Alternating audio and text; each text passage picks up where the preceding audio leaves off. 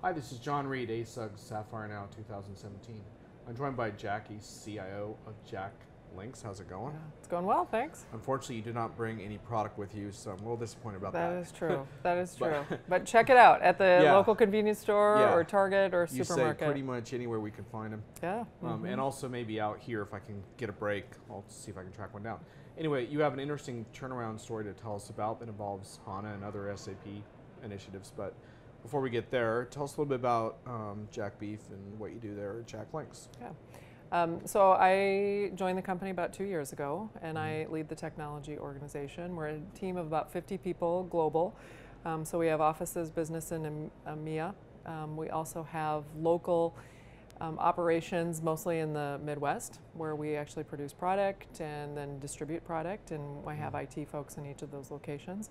Okay. Um, and so when I joined the organization, um, one of my primary goals was to get the get the technology team closer to the business, working with the business, and also make sure that we're performing at the, the level that the organization expected.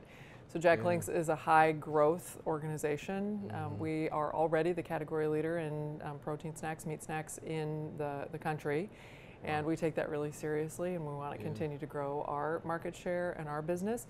So you need to have a technology team that's also ready to perform at that level too. Yeah, sure. When you and I were talking before we started filming, the challenges you were sharing when you first started are resonated with a lot of the IT managers we've spoken with. Things like disconnects with multiple systems got to get under control, and then also people and morale issues and getting out, being out of touch with business. Where Right. is that kind of the environment you were dealing with? Yes, absolutely. So Yeah. when um, I joined Jack Links, and we're a, t- a team, like I said, of about 50 people, and so I had the luxury of getting to know each person Mm. individually.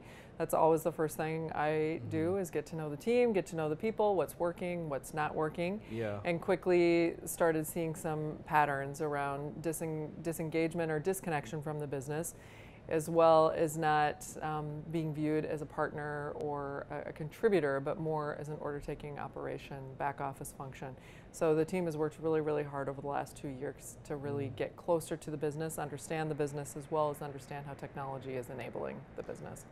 And your story is interesting because you have the culture change piece you've been working on, but then there's a technology change part because you were running SAP when you joined, but as you were telling me at the time, you weren't getting a lot out of the, or as much out of the system as, as they might have been hoping. That's Is that right.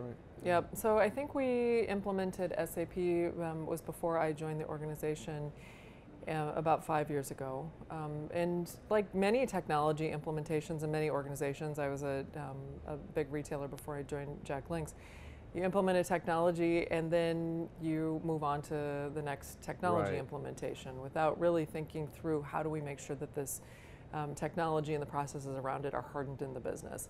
And that that extra step, which I believe is the most important step, did not get um, executed Mhm. fully. So we had a group of folks who were using um, SAP in the way that they knew how to use it, not necessarily in the way that it was designed to be used.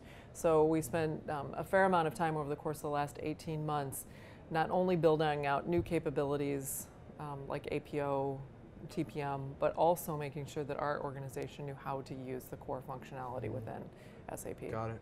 And you also moved ahead with HANA in the meantime as well. We did. What was So the rationale behind drinking that Kool-Aid? 2016 was a big year for Wow, you technology did all that at in one Jack year? Links. We did. Oh my God. Yes, so we signed contracts at the end of 2015.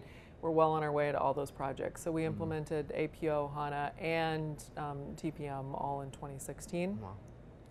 And the rationale there, I had mentioned that Jack Links is an aggressive, high growth com, um, organization. And if we want to do something, we go all in and we do it very quickly and very aggressively. And these technology implementations were no different. So our reason for HANA was really two, twofold. One is to make sure that we had um, the, the right back end system platform to support Mhm. our TPM implementation. So our, Right. our TPM is running on HANA. Um, we also put BPC on HANA. I guess we did that in 2016 as Okay, well add that to the list. add that to the list. Um, and then we needed a better solution for our enterprise data warehouse, and we decided to Got use it. HANA in that regard too.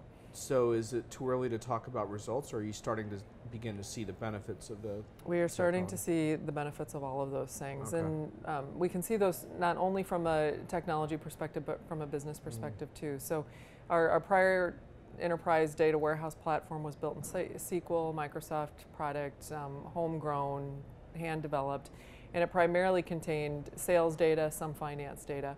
And since we implemented HANA, we have been able to really reproduce all of that data as well as now we have um, all of our supply chain data, all of our inventory. We have BPC sitting on top of HANA. So we ascend, we now, for the first time at JackLinks, are really starting to build an Mhm. enterprise capability Right. and doing that over the course of a year, um, whereas in our old platform, it would have taken us many years to get to the point that we are right now. So that's just on the technology side from an efficiency and Yeah. optimization perspective. and the business management's happy too, from what they're seeing. Are they Um, getting more visibility into operations? Absolutely, especially again in our supply chain area. Okay. That is where we have been focusing on enabling the business to get better um, insight into Mhm. supply chain, inventory management, um, Right. where we're going to have capacity issues, production issues. So we're absolutely starting to realize that. Um. And my business partner, the head of supply chain, said to me a couple weeks ago, "Now I have all the data I need to run the business." And in the past, Wow. I had been flying blind. So. That's music to an It IT. is. You'd love to right? hear when your business partner Yeah. tells you that things. We can sing our praises all day long, Right, but once you hear it from a business exactly. leader, that's a very different, Whole different solution. story. Yeah. So now we are looking at how do we extend those capabilities and how not only do we leverage the, um, the SAP or the internal data that we have, but how do we start aligning that or joining that up with external data that we already Mhm. purchased too from Nielsen and some of those external organizations.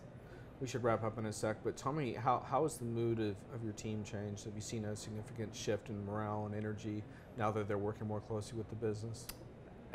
There is no doubt. And that doesn't mean um, that everything is perfect and that we still Right. don't have work to do. But I have absolutely no doubt that if I were to ask the team today, and I, this would be an interesting exercise to go through, the same three or four questions that I asked them two Mm. years ago, they would be markedly different of what our challenges are. And I think the challenges today would be priorities. We have now more work than we can manage. Right. Um, We're still learning these new technologies, so our learning Yeah. curve is um, Yeah. on a on a high um, or a sort of a hockey stick glide um, Yeah. because we've implemented so much and we're still learning through those. There's things. no perfect happy ending to these types of stories, right? Because change is the constant. right. But what it sounds like is everything's in the right direction, which is what you want. so. Absolutely, I am super proud of the the Cool. team and what we've accomplished over Sounds the last like you've two done years. a lot of hard work, so congrats. Thanks. Thanks for joining us. Yeah,